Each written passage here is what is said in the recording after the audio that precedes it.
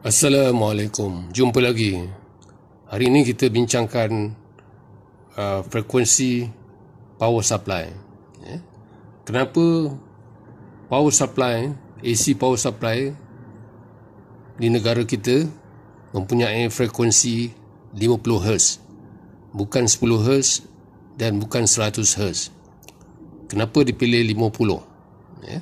Jadi kita akan bincangkan perkara ini. Jadi frekuensi bekalan biasanya uh, 50 ataupun 60. Setengah negara menggunakan frekuensi 50 Hz. Negara kita menggunakan 50 Hz dengan nilai voltage 230 atau 240. Setengah negara menggunakan voltage 110 atau 120. Ya. Diraja ini menunjukkan bekalan DC. Eh? Bekalan DC berbeza dengan bekalan AC, dia tidak mempunyai frekuensi. Eh? Tidak mempunyai frekuensi. Dan terminal kutub positif dan negatif bateri atau bekalan itu sentiasa tetap. Eh? Sentiasa tetap kedudukannya. Eh? Dia ada dua terminal, satu terminal positif dan satu terminal negatif. Dan arus kalau kita sambung kepada beban, eh, bekalan DC ini kalau disambung kepada beban dia akan arus akan mengalir, arus elektrik akan mengalir, eh, electric current yang kita assume eh, kita andaikan dia keluar daripada kutub positif eh, dan balik kepada kutub negatif. Dan nilai current atau voltage sentiasa tetap nilainya ya nilai konstan ya tidak berubah ya ini kita panggil frekuensi dia tidak ada frekuensi ataupun frekuensi dia sama dengan kosong ya berbanding dengan bekalan AC ya di negara kita menggunakan bekalan elektrik di negara kita menggunakan bekalan AC ya AC adalah pendekan daripada alternating current ya, arus ulang alik ya jadi berbeza dengan DC, ya, uh, kutub positif dan negatif tu dia tidak tetap. Ya. Dia ada dua terminal tetapi setiap terminal tu tidak tidak mestinya positif sentiasa. Ya. Dia bertukar-tukar. Mula katakan mula daripada positif, kalau di atas ni positif, di bawah negatif, di current akan mengalir yang ni, anak panah hitam tu. Ya.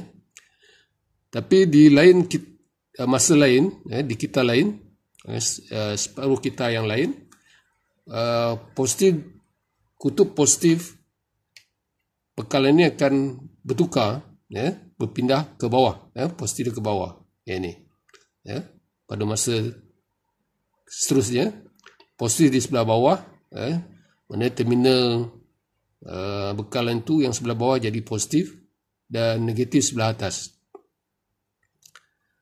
Kemudian dia akan bertukar lagi pada masa yang lain. Positif kembali di atas, negatif di bawah. Dan uh, bila bila semasa positif di bawah, eh, jadi current mengalir ikut ini, eh, yang merah ni. Eh, current yang merah ni mengalir berlawanan dengan yang hitam. Eh. Jadi dia ikut uh, kedudukan kutub positif dan negatif tu. Jadi bila di sini dia tukar balik positif atas, negatif bawah, daripada masa yang lain dia tukar positif bawah dan seterusnya ya akan berterusan ya. Ini dia dia punya lengkuk voltage dia waveform voltage dia untuk AC ya, jadi dia pada kalau kutub positif di sebelah terminal sebelah atas jadi kita dapat nilai voltage yang ini ya. Mula daripada kosong sampai maksimum dia turun kosong.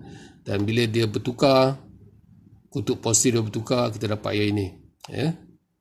Jadi ini kita panggil satu kita ya? Satu kita jadi uh, apa yang dikatakan frekuensi ialah waveform ni akan kitaran ni akan berlaku 50 kita ya, dalam masa satu saat. Ini adalah graf masa ya.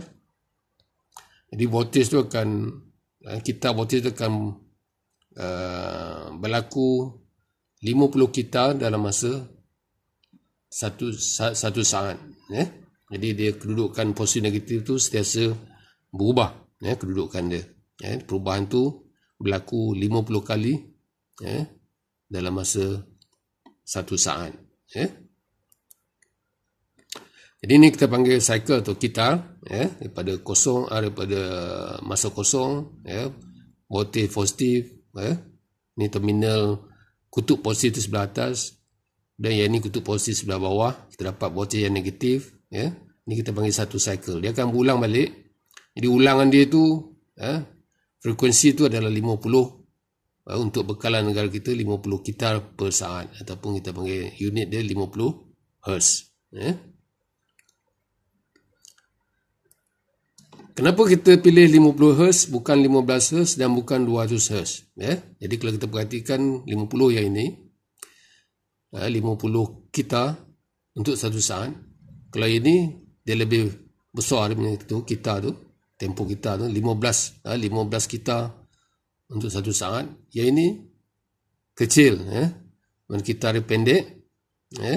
Masa tempo kita tu pendek jadi kita dapat 200 kita, 200 kita dalam masa satu saat. Eh?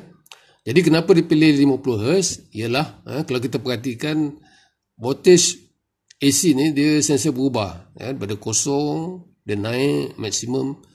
Jadi kalau, kalau kita nampak garisan yang putus-putus ini, ya, saya andaikan kalau di uh, voltage berada pada garisan arus garisan ini, ya, level ni, jadi kecerahan lampu tu malap eh sebab voltage dia rendah eh. Yang ini kita boleh andaikan voltage tu terang ah, ni, lampu tu terang eh mentor itu terang eh untuk bahagian ni. Tapi kalau bawah pada garisan ni kita boleh anggap sebagai malap eh. Jadi kita perhatikan di situ tempoh yang malap tu sangat pendek eh di sini eh daripada garisan pertama tu dengan garisan yang kedua eh. Itu kawasan yang kita panggil kawasan malap jadi kita akan nampak kecerahan lampu tu terang eh, terang sampai sini dia malap ya. Dan terang balik dia malap ya. Tapi kalau untuk 15 Hz eh, yang rendah daripada 50 kita nampak jelas eh, kita nampak kawasan malap tu lebih panjang eh, di sini. Daripada garisan pertama ni sampai garisan kedua tu ni uh, kawasan malap tu sangat panjang. Jadi kita mata kita akan perasan eh, sebab terlampau masa tempoh masa malap tu terlalu panjang. Jadi kita akan nampak lampu tu akan seperti uh, kelip-kelip. Eh, dia, dia akan terang malap terang malap. Jadi mengganggu pandangan mata kita. Tetapi kalau 50 Hz frekuensi dia jadi dia masa malap tu sangat singkat. Jadi mata kita tak akan perasan. Jadi kita nampak, hanya nampak yang cerah. Eh kawasan yang malap ni sangat pendek eh, singkat. Jadi kita tak perasan ini berlaku kalau frekuensi tu berada pada 50 Hz ke atas. Eh? Kalau lagi tinggi 200 Hz, uh, lagilah kawasan malap tu boleh dekat, boleh diabaikan. Eh? Langsung kita tak boleh nampak oleh mata kita. Eh? Jadi itu sebab kita kenapa kita gunakan frekuensi 50 Hz. Tidak boleh kurang seperti 15 Hz. Kita akan nampak lampu eh? bila dipasang pada bekalan elektrik lampu tu akan jadi terang malap terang malap ha? seperti dia berkelip-kelip eh? jadi mengganggu pandangan mata kita tapi kalau 50 Hz kita nampak semua uh, cerah dia boleh katakan sama eh? kecerahan tu sama jadi kita tak, tak dapat mengesan bahagian yang uh, masa yang malap tu eh? Okey, eh, tetapi kenapa kita tak boleh guna 200 Hz? Eh, 200 Hz lagilah baik kan kalau dari segi mata kita, eh, kita la, la, langsung bahagian malap tu langsung kita tak dapat mengesannya. Eh, langsung uh, sangat pendek dia ataupun singkat. Eh. Eh, 200 Hz lagi sepatutnya lebih baik tetapi kita pilih yang kritikal, eh, paling rendah iaitu 50 Hz. Sebab apa? Bila kita gunakan 200 Hz, ya, ataupun frekuensi yang lebih tinggi ya, ini akan menyebabkan ya, katakan kalau kita guna 100 Hz ya, ataupun lebih dia mempengaruhi ya, induktif reaktan ya. induktif reaktan bergantung pada omega L ataupun 2 pi FL ha, sebab di sini ada sebutan F ya. Jadi regangan induktif ni, eh, induktif reaktor ni akan memberikan uh, kalau besar nilainya dia sebab menyebabkan voltage drop, eh, kejatuhan voltage pada uh, apa ni peralatan elektrik, ya. Eh. Peralatan elektrik yang punya induktif reactance seperti motor, generator, uh, talian ataupun wire, dia akan menyebabkan voltage voltage drop, eh, susuk voltage. Jadi uh, XL atau inductive reactance tu bergantung kepada frekuensi. Kalau tengok di situ ada sebutan frekuensi 2 pi FL. Jadi lagi tinggi frekuensi kita guna, lagi banyak voltage drop akan berlaku. Eh? Kejatuhan voltage akan lebih banyak. Eh? Jadi kita tak tak mau ini terlalu besar voltage drop dia akan menjejaskan performance eh? sistem. Jadi kita guna kita pilih yang 50 Hz tu sangat sangat sesuai. Eh? Kita tak pilih yang lebih daripada ataupun frekuensi yang lebih tinggi. Begitu juga dia akan mempengaruhi eh, frekuensi yang tinggi akan menyebabkan kehilangan pada teras eh, core losses yang berkaitan dengan hysteresis loss dan eddy current loss. Eh, sebab dua-dua ni dia bergantung pada frekuensi. Eh, lagi tinggi frekuensi jadi kehilangan losses ni akan uh, kehilangan kuasa pada trust akan bertambah. Jadi kita tak mau. Ya. Jadi sebab itu dipilih uh, frekuensi 50 Hz atau 60 Hz lebih uh, lebih sesuai. Ya. Kecuali di dalam kapal terbang, eh, dalam kapal terbang atau aircraft, eh, dia guna frekuensi 400 Hz. Jadi uh, generator atau motor di sana Eh, dia menggunakan frekuensi 400 Hz. Kenapa dia guna 400 Hz? Ya. Ini ada kena mengena dengan uh, saiz uh, peralatan. Uh, generator, motor, transformer akan menjadi lebih kecil uh, saiznya kalau kita gunakan frekuensi yang lebih tinggi. Uh, frekuensi yang tinggi.